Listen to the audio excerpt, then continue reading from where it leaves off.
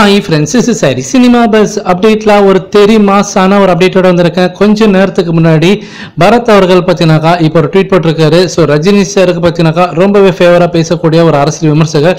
So அவரோட Twitter பக்கத்தில் இப்போ அஃபிஷியலாகவே பத்தினாக்கா அவர் வந்து ஒரு ட்வீட் போட்டிருக்காரு. என்ன சொல்கிறாருன்னா நவம்பர் முப்பதாம் தேதி ரஜினி சார் பத்தினாக்கா அவருடைய டிஸ்ட்ரிக்ட் செக்ரட்டரிஸ் கிட்ட பத்தினாக்கா ஒரு டிஸ்கஷன் நடத்த போறாரு ஸோ ரஜினி சாருடைய ராகவேந்திரா கல்யாண மண்டபத்தில் காலையில் ஒன்பது மணிக்கு வர திங்கட்கிழமை அதாவது நாளன்னைக்கு காலையில் ஒன்பது மணிக்கெல்லாம் ரஜினி சார் அவருடைய மாவட்ட செயலாளர் கூட ஒரு முக்கியமான ஒரு முடிவெடுக்கிறதுக்காக ரஜினி சார் பத்தினாக்கா அவங்க கூட வந்து பேச போறாங்க. ஒரு டிஸ்கஷன் நடக்க போகுது அப்படின்ற மாதிரி இப்போ அதிகாரப்பூர்வமாக சொல்றாரு.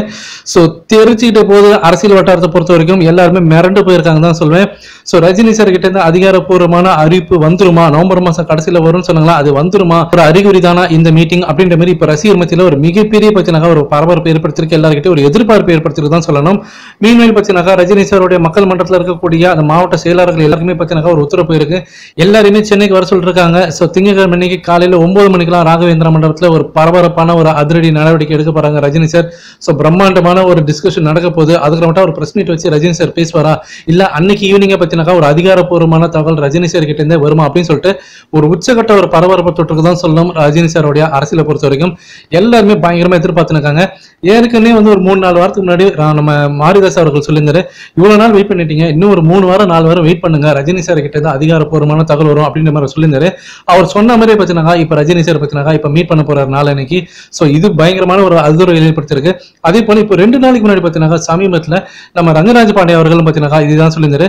கொஞ்ச நாள் வெயிட் பண்ணுங்க. ரஜினி சார் உங்களுக்கு எல்லா கிளாரிட்டியும் கொடுப்பாரு எல்லா விதமான அந்த குழப்பங்களை வந்து அவர் வந்து கிளாரிஃபை பண்ணுவாரு அப்படின்ற மாதிரி சொல்லுங்க ஸோ இதெல்லாம் கணிச்சு பார்க்கும்போது நாளன்னைக்கு நடக்க போறிய இந்த மீட்டிங் பார்த்தீங்கன்னாக்கா ஒரு அதிர்வலை ஏற்படுத்த போதா? ரஜினி சார் கிட்ட இருந்து அந்த மாசான அனௌன்ஸ்மெண்ட் இப்பவே வந்துருமா அப்படின்னு சொல்லிட்டு எல்லாருமே எதிர்பார்த்துருக்காங்க. நீங்க எந்த அளவுக்கு எதிர்பார்த்து காத்திருக்கீங்கன்னு சொல்லுங்க.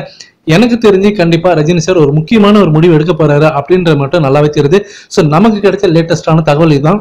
ஆனால் கண்டிப்பா இது அதிர் வைக்கக்கூடிய தமிழகத்தோடைய அந்த அரசியல் சூழ்நிலையை வேற லெவலுக்கு அடுத்தது பத்தினாக்கா அதிர்வலை ஏற்படுத்தக்கூடிய ஒரு நியூஸா கண்டிப்பா நவம்பர் முப்பதாம் தேதி அன்னைக்கு இருக்கும் அப்படின்றதுல எந்த மாற்று கருத்தும் இல்லை. ஸோ வெயிட் பண்ணுவோம். So hope for the best positivity so கண்டிப்பா ரஜினி சார் கிட்ட இருந்து நாம எதிர்பார்க்கக்கூடிய ஒரு நியூஸ் என்னன்னா ஸோ அவர் சிஎம் கேண்டிடேட்டா வரணும்னு சொல்லிட்டு நம்ம எல்லாருமே எதிர்பார்க்கிறோம். இது சம்பந்தமா தான் ரஜினி சார் வந்து ஏதாவது பேசுவாரா அப்படின்ற ஒரு எதிர்பார்ப்பும் இருக்கு.